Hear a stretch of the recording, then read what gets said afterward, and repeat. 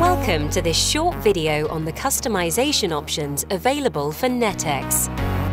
If you buy a customized version of NetX, the customization package will include a dashboard which is accessible with a username and password.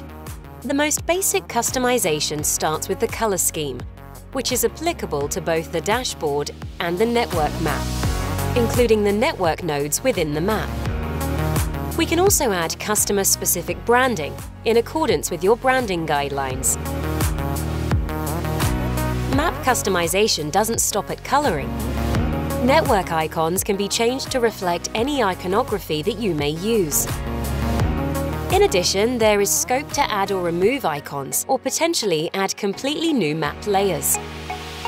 NetX can also be used to host additional resources, such as PDFs, spreadsheets and presentations related to specific network functions or interfaces. These resources can be accessible via the dashboard or can accompany specific nodes within the network map.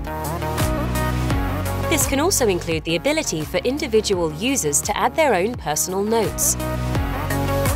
You may also wish to include a glossary, which gives users access to over 2,500 acronyms and explanations, but also gives administrators the ability to add their own company-specific terms. With respect to the network procedures, which are accessible via the map or dashboard, we can also add specific procedures from your network. You may also wish to include troubleshooting scenarios to further enrich the network procedure portfolio. Finally, in order to enhance NetX as a network reference tool, we can also integrate video-based training into the NetX package. Please contact us if you are interested in a customized version of NetX or if you have any specific customization queries.